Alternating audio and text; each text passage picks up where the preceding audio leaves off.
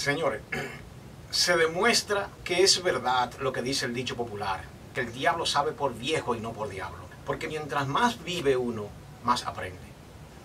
Me entero de que Luis Abinader aportará bienes económicos a la familia de los fallecidos en Asua, Yaya, en el accidente.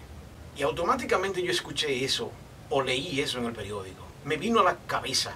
Cuidado si en ese lugar es que venden las drogas que agarran en la zona de Baní, Asua, etcétera, etcétera.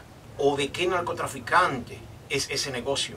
Porque aunque no, aunque no está mal que colaboren, pero cuando una familia pierde sus bienes o hay un accidente en un hogar que en paz descansa y viene un accidente y agrede a esa familia, yo estoy de acuerdo con que se le aporte. Pero personas que se drogaban y se prostituían en la calle, usted le va a dar los recursos que con tanto sacrificio paga el pueblo en impuestos a ese gobierno inecto para que lo gaste pretendiendo hacer el papel del papá bueno, siendo un demonio. No le queda bien eso, señor presidente. Usted está abusando con los recursos del pueblo. Préstamos y préstamos y préstamos porque se necesita dinero. Y entonces quiere malgastarlo de esa manera. No estamos de acuerdo con eso, ¿eh? No estamos de acuerdo. Presidente abusador. Eso es lo que es usted.